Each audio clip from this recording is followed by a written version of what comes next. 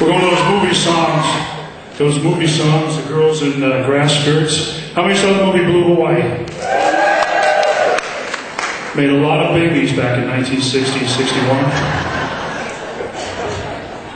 Just the movie itself, because it was at the drive-in, right? Backseat ballads, that kind of thing, right? Well, this is a very, very serious, serious film. I got quiet as soon as I said that. Very serious film.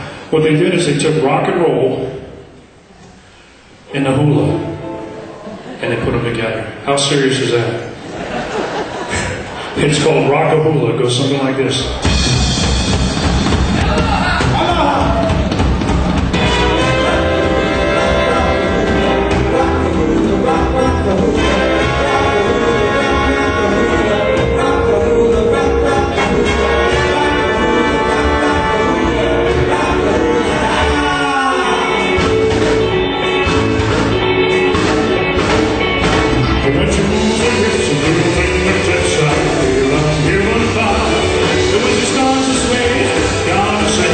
Want to crash around.